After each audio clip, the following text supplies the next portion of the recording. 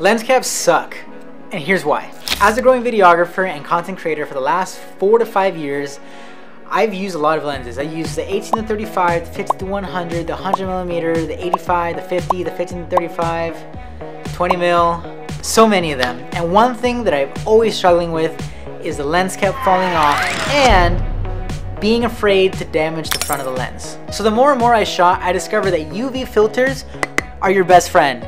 They protect the front of the lens, they act as a lens cap when they're inside of your bag, and honestly, it extends the life of your lens and as well as the value. For those of you who are getting into photography and videography and don't know if this is for you, but you want to start buying some lenses and kind of seeing if this is a feel for you, UV filters will help you resell your lens if you feel like it's not for you.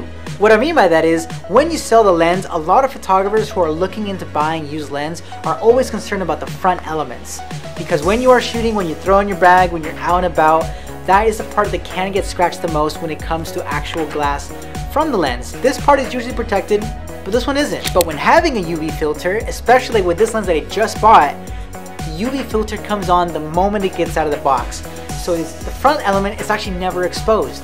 And what's worse, lenses like this have huge openings into the interior, and although it's actually weatherproof, having sand and getting other items in there is just not a fun idea to be worrying about. So buy yourself a UV filter, protect that front of it, and never have to worry about lens caps again. But what surprised when I was buying the UV filter for this 50mm lens, Polar Pro actually sent this little rubberized filter cap.